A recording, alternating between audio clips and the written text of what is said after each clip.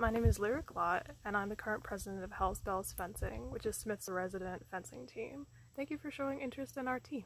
Hell's Belles was founded in 1997 by our coach Scott Tunderman, and ever since then, it's been a great place on campus for Smithies to come together and practice the sport of fencing in a fun, relaxed environment. We offer instruction in all three weapons, those being epee, foil, and saber, uh, and we're open to fencers from all skill levels who want to join us. We've had people over the years who started their fencing journey with us here at Smith, but we've also been home to nationally ranked fencers who still wanted to fence in college but wanted something a little more low-key. We are a club team. We do also provide the opportunity for our fencers to compete with other colleges each semester, uh, and we compete with other schools ranging from other club teams like Boston University uh, to teams that are on the varsity level like Sacred Heart. At Smith, we also have several team traditions like selling fudge as a fundraiser in the spring semester, and also exchanging gifts during the holiday season and fall semester in our annual Secret Succubus. We also regularly host movie nights and go on excursions as a team together. We hold four practices a week. Those are Mondays and Wednesdays from 7 p.m. to 9 p.m., Fridays from 6 to 8 p.m., and Saturdays from 10 a.m. to 12 p.m. Unfortunately, due to COVID-19, we won't be able to hold practices in person for the fall 2020 semester. But we are looking forward to practicing footwork, working out, and learning more about the sport of fencing over Zoom. If you'd like to learn more about our team, then you can go to our website at sophia.smith.edu forward slash smithfencing.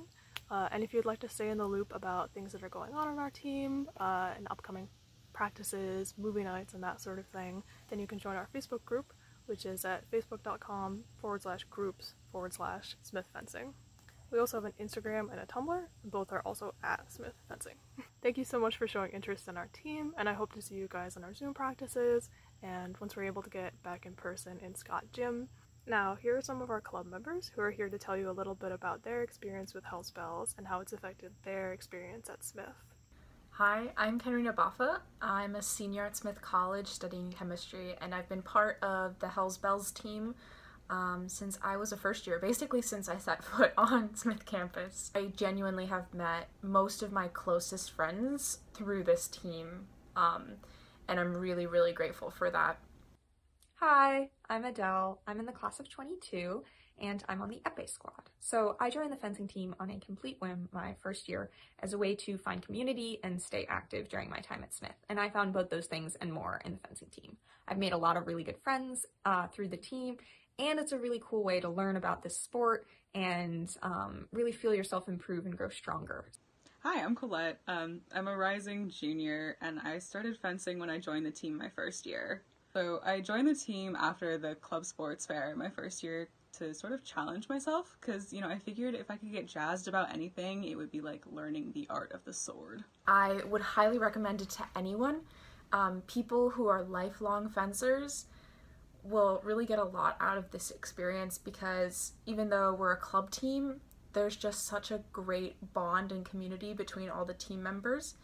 And for me as an experienced fencer, it was really amazing to kind of test my knowledge and my skills by taking on a, a role of teaching others and also getting to learn from the other experienced members of the team. So it was a really great balance of, of learning and teaching. The unwavering positivity and acceptance, just like looking out for each other, learning from each other, encouraging each other to succeed. It's more than just wanting the team to succeed, it's wanting all of us to love being a part of the team.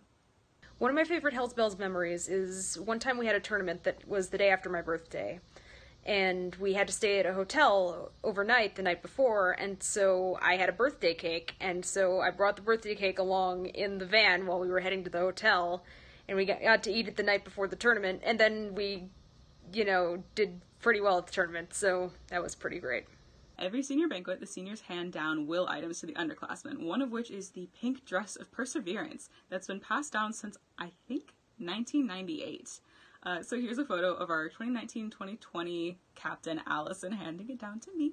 We do things like play frisbee as warm-ups, um, go to other schools to compete, and that's a really fun way to meet people from other schools. We get barbecue after meets, which is a highlight.